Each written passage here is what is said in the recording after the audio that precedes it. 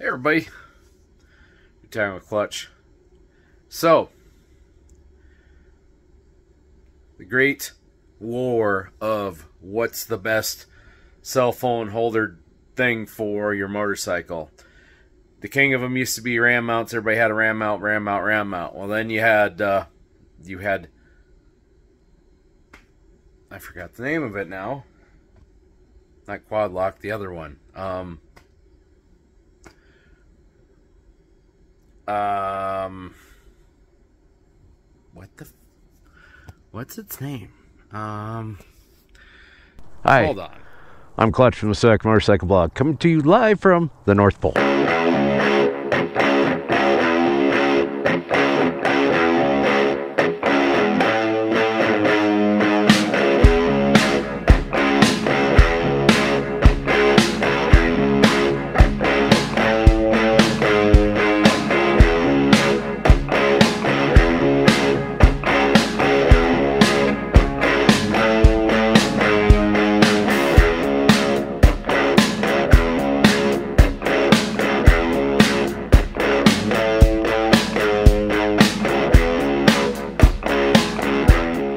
All right, now we got it together. We're gonna try that again. Clutch, SoDak Motorcycle Blog. So, the great battle of what's the best holder for your cell phone on a motorcycle has raged well pretty much since smartphone come out. It used to be ram mount was the one you wanted. Ram mount, ram mount, ram mount. Well, then you had Rokform come out, which also did a lot of good things. And then you had Quad Lock come out. Well, I ended up choosing Quad Lock. So, we're going to do a little unboxing here. But first of all, before we do that, I'm going to annoy you a little bit and tell you a little bit of a backstory here. So, I'm one of them. I got a Abraham ram mount. Used ram mounts for many years. You know, frankly, they they're pretty cheap. They seem to do the trick. They always, they always seem to work pretty well. So I've been really debating for a while of going to this different setup. Um, biggest thing held me up for long time. The one thing I always liked about the ram mount, it was quick, it was easy, and plus I'd already bought it. But there was things about the ram mount that sucked, like the fact that, well, at first when I started using it, I used to just hook it in the bar. I didn't use like the the low retention strap or nothing. Well then, one day at the Sturgis Rally, I was riding around and my phone popped out on me while I was driving down the road. So I'm like, okay, well I gotta use the strapping. Well, using the strapping takes away a lot of the, I guess, the quick maneuverability of it because you got to put it in there, you got to strap it in. It just, it's a little bit harder to get it in and out quickly. So I didn't use my phone quite a bit while I was riding and didn't really need it for like when I'm riding around here, I know where I'm going. Um, music, I've got the XM already set up on my motorcycle, so I didn't really need that before. Well, then I switched to a Sena system with a wire-free or the wireless Sena on my Goldwing. So that was the first thing that started that.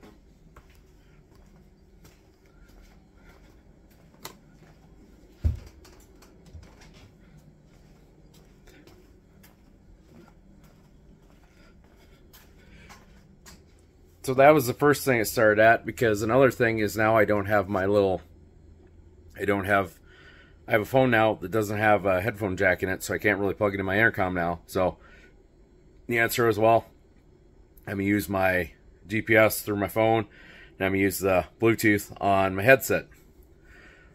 So but the problem with that is now I gotta avoid the stereo, so basically I gotta just run for phone, which is fine too. Um, well, another thing I was looking at is because I really like the idea of still running it through through through my sound system. Because here's the thing: running like XM through my phone and everything else is great, but if I'm going through an area without cell phone reception, which most of you probably don't have to even think about not having cell phone reception, but where I live up here in this part of the world, it's a thing. Um, let's put it this way: if you're on Highway 85, pretty much the whole way through Wyoming, there's pretty much it's a little town's about the only place you can get it. And those towns are anywhere from 45 to 100 miles apart. And even then, it, it's really kind of a, a ghost. It's ghost ghost town getting around there, just trying to get cell phone reception. So that's part of the reason why I need to keep that XM on there. The other reason is like when I'm doing an iron butt run, the problem with that Sena setup is the batteries will die on me. and I don't want to even fight it, so I'll go back to my corded system, which now I'm back to the same issue as my phone. I don't have headphone jack.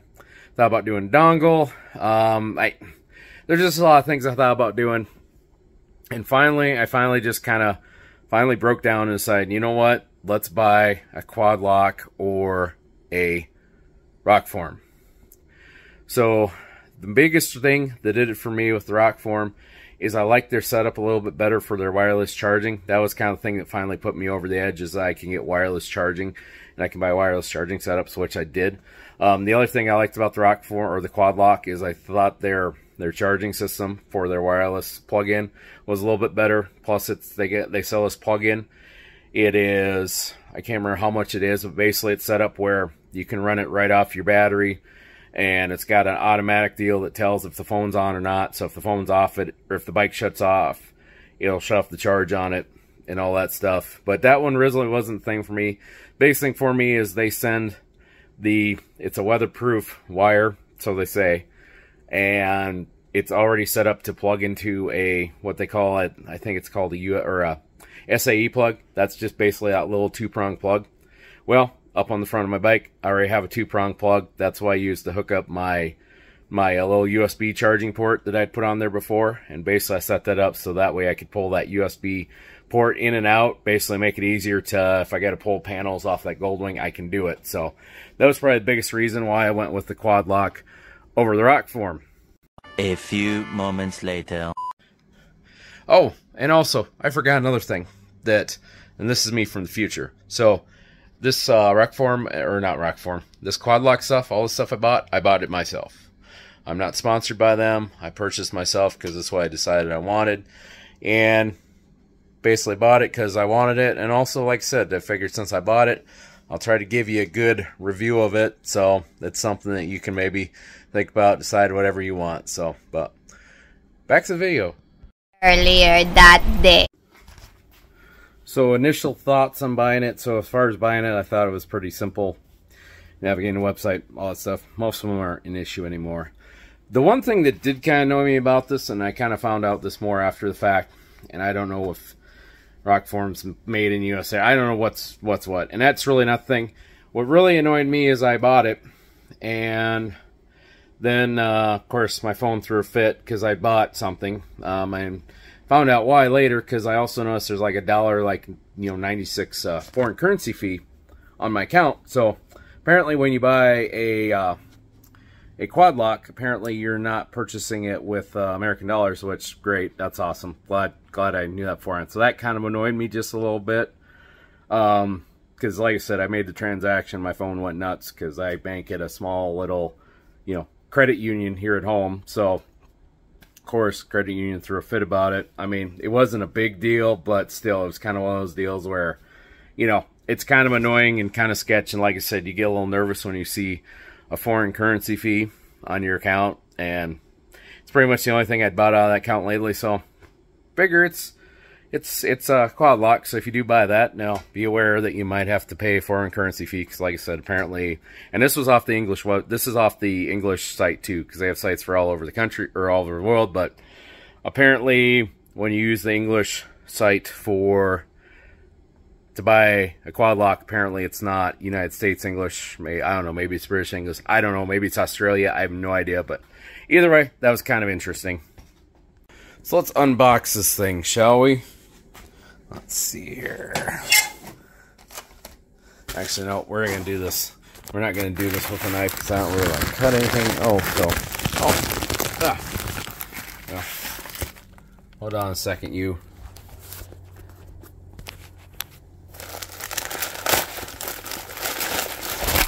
Whoops.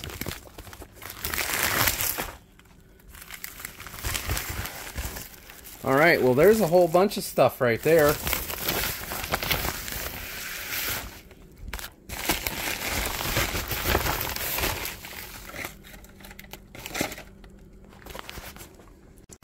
All right, let's see what we got in here.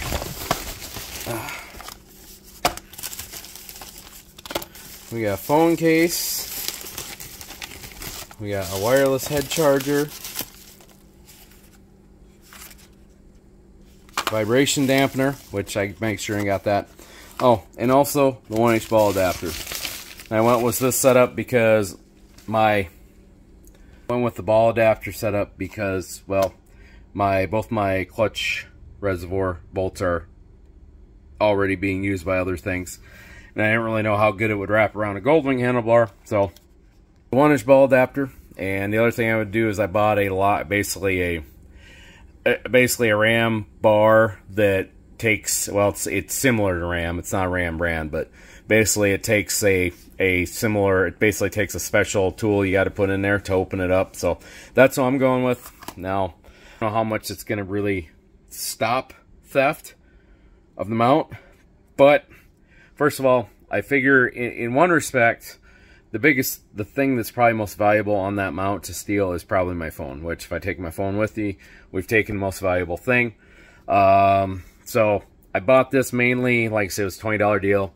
If someone really wants it, obviously they can take it from me. But really, what I'm limiting, and really most of the time when you're limiting, when you're locking your doors or locking things up or just securing things better, really all you're doing is you're eliminating crimes of opportunity. Those, uh, oh, hey, cool. That looks easy enough to grab. I'm going to grab it real quick. Oh, it's going to take me more than two seconds to get off there. Okay, I'm leaving it alone. I'm going something easier. So that's kind of what I was aiming at with that. So, so that's why we went with the one inch ball adapter. Um, so I went with the vibration dampener just because I wanted to make sure to protect the phone a little bit. Granted, I don't have one of them iPhones, but still, I just wanted to maintain that. Um, like I said, I went with the wireless charger because honestly, I want a charging solution. And frankly, wireless charging, that sounds pretty nice to me. Just basically pop the phone on there and it's automatically charging. Sounds good. Obviously, about the case, I went with the case as opposed to you can also put the, uh, you can also put their, they sell like the little pieces you can actually glue your phone. I don't really have much faith in that glue, especially when it gets warm out, so I went with the case. And I actually went with their mag case because it was 10 extra dollars and it still works with the plain Jane, the old the OG quad lock. It also works like the mag with the magnet one. And also I'm kind of thinking, well, maybe the magnet applies to other things so I can like see people at the gym with magnetic cases just throwing them against the side of like a, a weight bar or something like that. And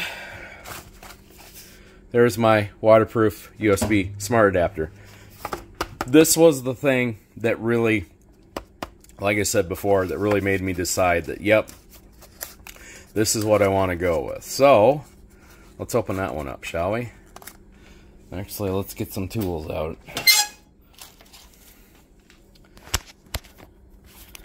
Because we gotta seal them 17 flipping times. I get why they do it, but still. It doesn't mean it's any less annoying. So, and...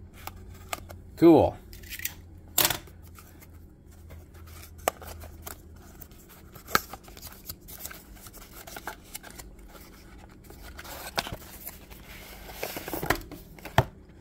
So there's the there's the charger piece. That's a little part I was talking about where you got a an basically you gotta you can shut it off, you can turn it on all the time, you can put it auto. I'm probably gonna put it on all the time because that little plug I already got automatically turns on when the battery turns on. Alright, let's take a look here.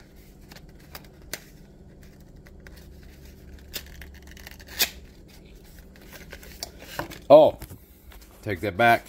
So uh, one thing about this, so in auto mode, device will remain on until the after engine has been shut until battery voltage drops below 12.5. So it technically doesn't really shut off. It just waits till you drop to a certain voltage, which I guess that works okay. Although part of me you relying on that to do the trick, I don't know if I'm a fan of that, but hey, you know, whatever whatever floats your boat, I guess.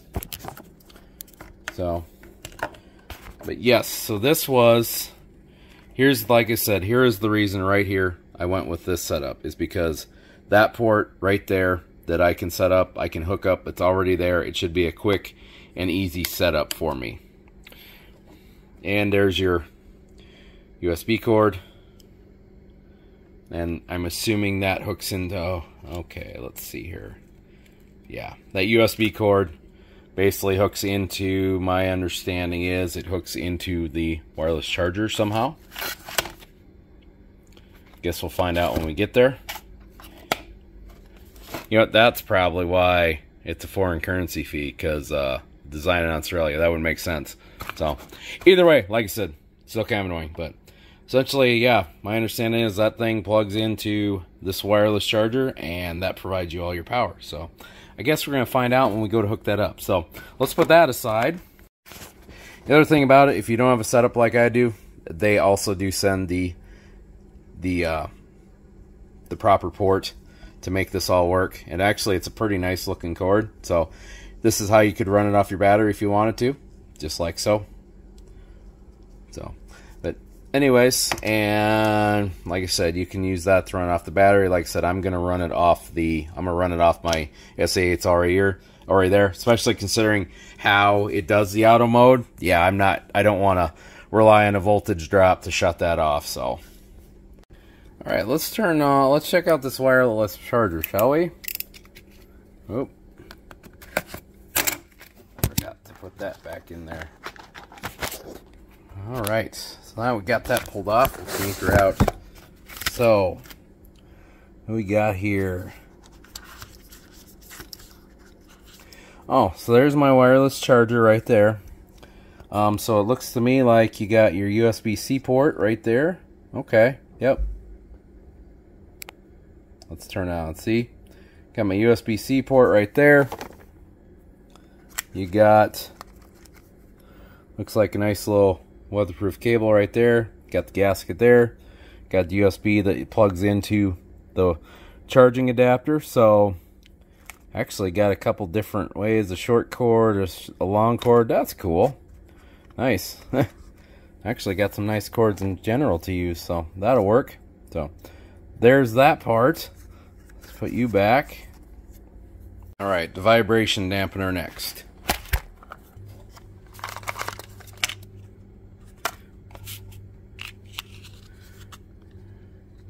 There ain't much to that, just a little tiny deal that damp, like I said, it's a vibration dampener. Let's see here. Okay, it's got little tiny so it looks like it does it by, these are a little tiny rubber piece there. That's how it does its vibration dampening. Cool. All right, let's put that back. All right, let's look at my little ball adapter next. Shut the bright light off again. And there should be. There's your basic standard plain Jane port right there. Cool. Awesome. Alrighty, and there's the ball that'll work. Um, we'll hook that in like that. So that looks like that. So this piece will have to come off. The vibration dampener piece will have to go in. Or the the wireless deal, then the vibration dampener. I don't know. There's some kind of process. You stick them all together. We're going to find out. But, all right. Well, there's that part. Awesome. Like I said, not much to that one.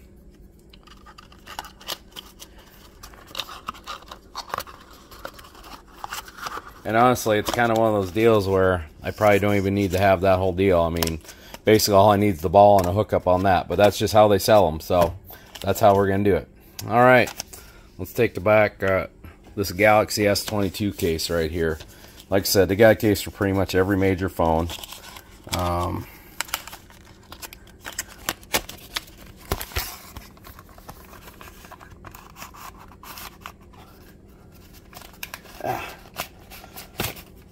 instructions all, oh my god. Well, that's cool. So I guess we got a little overzealous with the instructions because we pulled them out a little too much. Well, there's our, there's our phone case right there. First of all, let's see how magnetic it is. Eh, kinda. Oh yeah, there it's magnetic. Cool. That's awesome. And like I said, I think that's I do wonder, like I said, I kind of, I don't know, this is the hardest thing going to be for me to give up to switch from my OtterBox, which I really like, to this quad lock. But to make this whole thing set up, yeah, that's what I'm going to have to do. Plus, I just, I don't, I don't trust something stuck to the back of my quad lock. So, yeah, I think this will work here. So, All right, well now that we've unboxed it, um, I do, I am going to go check, see if that works with my wireless charger. I hope it does. I guess we're going to find out. And yeah, so we're going to install it here a little bit later. Probably not tonight, but later on. All right, let's see if it'll hold on. It does. That's cool.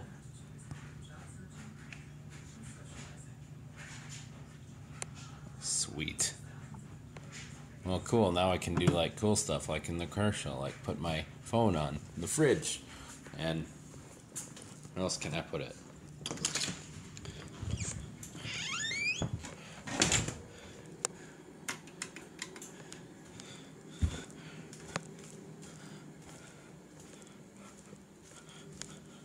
Or I'm changing stuff out, or hey, look at that. I can put it on my shelf. Cool. All the awesome, cool places I can put my phone. Cool. Now the world is my phone holder. It is awesome. Also, it works with my wireless charger, which is also great. So, cool. And like I said before with this mag case, it was 10 more bucks for the mag case. They also have a mag mount system, which is kind of what it's designed for, but frankly, I spent the extra for the mag mount so I could do like the kind of stuff like that. Like I could put it, magnetize it, put it up on something. I think it'd really come in handy for me, like if I'm at the gym. That'd be a really handy spot because you could put it like on one of the bars you're working with or something like that instead of having to set it on the shelf somewhere and then it's in the way and someone needs to move it, whatever. So, like I said, I think that's kind of cool having that magnetic part of it. So, I guess we'll find out in the coming time how much more that is worth.